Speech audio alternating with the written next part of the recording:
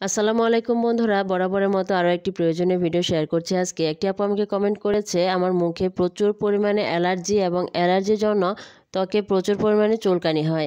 সেক্ষেত্রে কি আমি পেভিসন ক্রিমটা ব্যবহার করতে পারব? বন্ধুরা, এই পেভিসন ক্রিমের উপকারিতা কি? এটি কতদিন ব্যবহার করতে হবে? কীভাবে ব্যবহার করতে হবে? এর কোনো পার্শ্ব প্রতিক্রিয়া আছে কিনা? এটি ছেলে মেয়ে উভয় ব্যবহার করতে পারবে কিনা? এবং এর দাম কত? সব কিছু জানতে সমস্ত ভিডিও জুড়ে আমার সাথে থাকুন।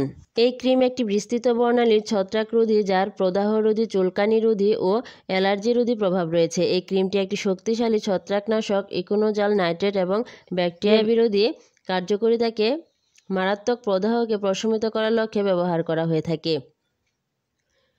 এটি পজিটিভ জীবাণু ও ছত্রাকের মিশ্র সংক্রমণ একজিমা পুনঃপ্রদাহে উল্লেখযোগ্য প্রভাব রাখে। ত্বকের ভাজে ব্যাকটেরিয়াজনিত প্রভাবে বিশেষ কার্যকরিতা প্রদর্শন করে থাকে। এটি সাধারণত ত্বকের যে সুরিয়াসিস হয় সেই সুরিয়াসিসের জন্য ব্যবহার করা হয়ে থাকে। তাছাড়াও টিনিয়া পেডিস টিনিয়া স্কোরিস এবং টিনিয়া কর্পোরিস এর জন্য এটি ব্যবহার করা হয়ে থাকে। কীভাবে বুঝবেন যে আপনি টিনিয়া স্কুরিসে আক্রান্ত কিনা? বন্ধুরা এমন এক অবস্থা যেখানে ত্বকের উপরে বসবাসকারী ফাঙ্গালের মাত্রাতিরিক্ত বৃদ্ধি ঘটে এবং এর কারণে ত্বক প্রভাবিত হয়। এই অবস্থায় ত্বকের উপর সাধারণত ঘাড়ে, বুকে, পিঠে এবং বাহুতে হালকা বা গাঢ় রঙের ছোপ পড়তে দেখা যায়। তখনই বুঝবেন যে এটি টিনেস কুরিস নামে পরিচিত এবং সেখানে এই পেভিসনটি ব্যবহার করতে হবে। তাছাড়াও আপনি টিনিয়া ভার্সিক্লারে আক্রান্ত কিনা সেটা কীভাবে বুঝবেন? এই লক্ষণগুলো সাধারণত ত্বকে বিবর্ণ ছোপ তৈরি করে। এই ছোপগুলো সাধারণত ত্বকের রঙের থেকে একটু হালকা অথবা গাঢ়, গোলাপি, লালচে অথবা বাদামি হতে পারে।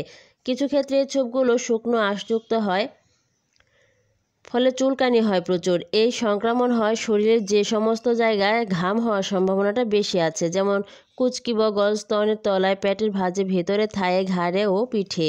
টিনিয়া ভার্সিক্লার বিকাশের প্রধান কারণ হলো আক্রান্ত ব্যক্তির বাসস্থানে আশেপাশে পরিবেশ এবং জৈবিক কারণগুলো।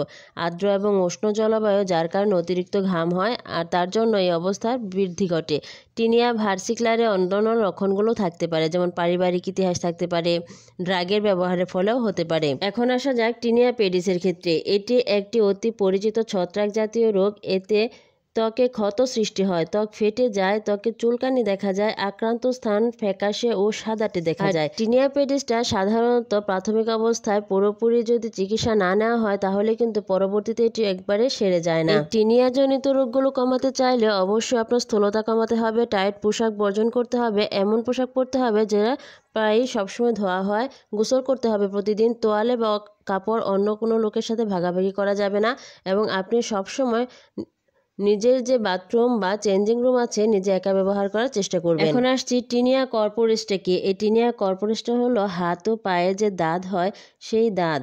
এই দাঁতকেই বলা হয়? টিনিয়া এই দাউদ বা এই টিনিয়া রোগের জন্যই এই ক্রিমটি ভালো কাজ করে। বন্ধুরা এটি কিন্তু কোনোভাবেই মুখে ব্যবহার করা যাবে না। যদি আপনি মুখের মধ্যে টিনিয়া আক্রান্ত হয়ে থাকেন তাহলে অবশ্যই যে কোনো ডক্টরের পরামর্শ অনুযায়ী ওষুধ ব্যবহার করতে হবে। এই পেবিসনটা কোনোভাবে মুখে ব্যবহার করা যাবে না। মুখ এবং চোখ থেকে এটি দূরে থাকতে হবে। যখন কোনো চিকিৎসক আপনার শরীরে দাঁতের উপস্থিতি বা অনুপস্থিতি শনাক্ত করে, সাধারণত ডাক্তার সংক্রামিত ত্বকের একটি পরীক্ষা করাবেন। অটোপিক ডার্মাটাইসিস বা সুরিয়াসিসের মতো অন্যান্য ত্বকের রোগের উপস্থিতি নির্ণয় করার জন্য ডাক্তার আরও কয়েকটি ত্বকের পরীক্ষা করাবেন। তারপরে কিন্তু আপনি নিজে বুঝতে পারবেন ডাক্তার দ্বারা যে আপনি টিনিয়া আক্রান্ত কিনা। মুখের ত্বকে যদি চুলকানি হয় বা ক্ষতের সৃষ্টি হয়, সাথে সাথে ডাক্তারের পরামর্শ অনুযায়ী আপনি ওষুধ ব্যবহার করুন। কিন্তু এই টিনিয়াতে যে সমস্ত ওষুধগুলো ব্যবহার করা হয়, এগুলো কোনোভাবে মুখের কেন ব্যবহার করা যাবে না। কেননা মুখ একটি